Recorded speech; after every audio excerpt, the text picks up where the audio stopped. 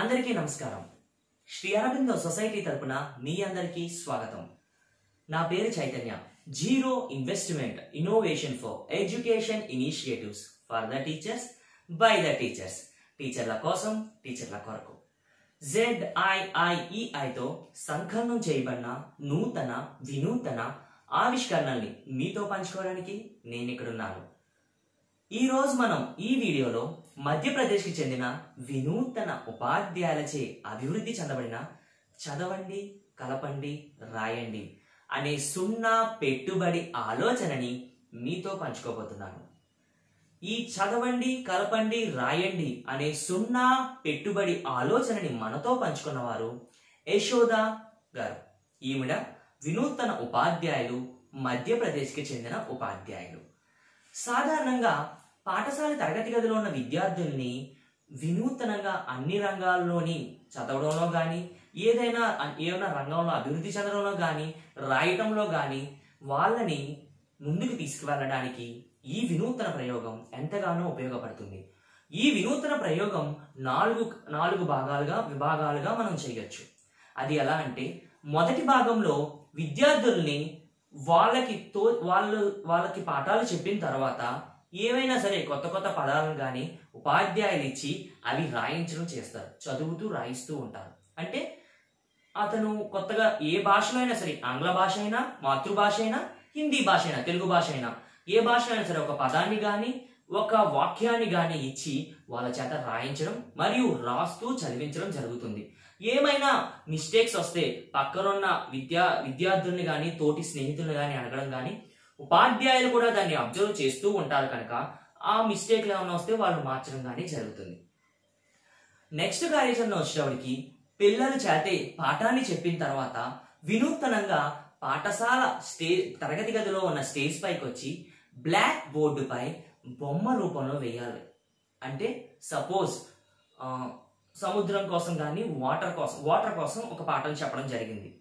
ఆ వాటర్ కోసం పాఠం చెప్పిన తర్వాత వినూతనంగా వాటర్ అంటే వాటరే వేయకుండా ఒక భూమి భూమి బొమ్మ వేసి దానికి ట్యాప్ పెట్టి అందులోంచి చుక్క చుక్క సంథింగ్ వాటర్ రూపంలో పెట్టచ్చు. అంటే వినూతనంగా అందరూ అర్థం చేసుకునేలా దాంట్లో ఎంతో ఎక్స్ప్లెనేషన్ ఉండేలా ఉదాహరణలు తీసుకునేలా పిల్లల్ని ఆకట్టుకునేలా అలాంటి బొమ్మలు వేసి ఉపాధ్యాయులు ఒక బొమ్మ వేస్తారు. తర్వాత విద్యార్థుల్లో ఉన్న వినూతన ఆలోచనని బయటికి తీసుకురావడానికి ఈ ప్రయోగంలో ఈ ఈ విభాగం ఎంతగానో ఉపయోగపడుతుంది.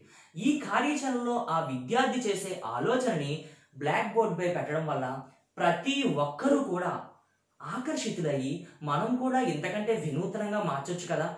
మనం మాట్లాడింది ఒక వాటర్ కోసమే. కానీ అతను చూపించింది భూ భూమిని అంతా ఒక గోళం ఒక గోళాకారం బొమ్మ వేసి దానికి ట్యాప్ పెట్టడం జరిగింది.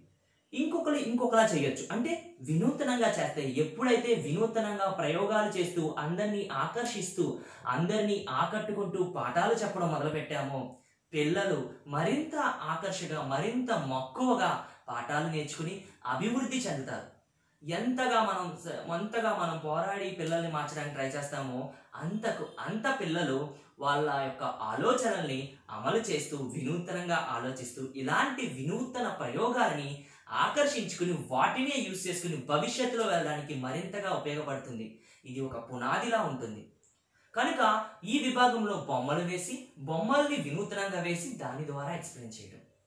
ఇంకొంచెం ముందుకు వెళ్ళాక ప్రతి విభాగంలో ఎలా అయితే పదాలు ఇచ్చి రాయిస్తామో వాటిని కరెక్షన్ కూడా పక్కన పక్క వాళ్ళ చేయిస్తాము. మరియు మరొక విభాగంలో బొమ్మల ద్వారా వేసి కలుపుతూ వాటిని పాఠాలు చెబుతూ ఉంటాము. అలాగే వ్యాసాలు.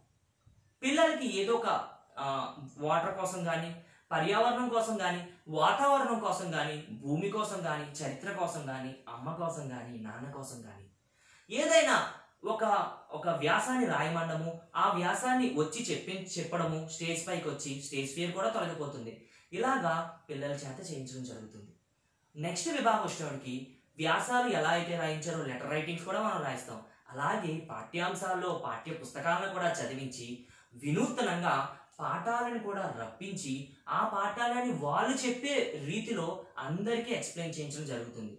ఒక విధంగా ఏమన్నా సందేహాలు వచ్చినా సమస్యలు వచ్చినా ఉపాధ్యాయులు అబ్జర్వేషన్లోనే ఉంటుంది కనుక వాళ్ళు పక్క నుండి వాళ్ళని వాళ్ళకి చెప్పి మందలించకుండా సున్నితమైన మనసుతో వాటిని మారుస్తూ అందరికీ కూడా మరొకసారి రివిజన్ రూపంలో కంప్లీట్ అవుతుంది. చూశారు కదండి? ఇందులో ఏమన్నా పెట్టుబడి పెట్టాల్సిన అవసరం ఉందా? లేనే లేదు. చదవండి కలపండి రాయండి. చదవమే కాకుండా రాయించడము రాయించడమే కాకుండా బొమ్మల ద్వారా పాఠాన్ని నేర్పించడము వినూత్నంగా ఆలోచించడము ఈ నాలుగు రకాల విభాగాల్లో పిల్లల చేత చేయిస్తూ ఆకర్షిస్తూ పాఠాలు నేర్పించడానికి ఇది ఒక సున్నా పెట్టుబడి ఆలోచన. ఇందులో ఏమన్నా పెట్టుబడి పెట్టాల్సిన అవసరం ఉందా? లేనే లేదు. మీరు కూడా మీ తరగతి గదుల్లో ఈ సున్నా పెట్టుబడి ఆలోచనని అమలు చేస్తారని ఆశిస్తున్నాను. మరియు మరిన్ని సున్నా పెట్టుబడి ఆలోచనల్ని వీక్షించడానికి మా యూట్యూబ్ ఛానల్ని సబ్స్క్రైబ్ చేసుకోవాల్సిందిగా కోరుకుంటున్నాం. ఫేస్బుక్లో లైక్ చేయండి షేర్ చేయండి. ధన్యవాదములు.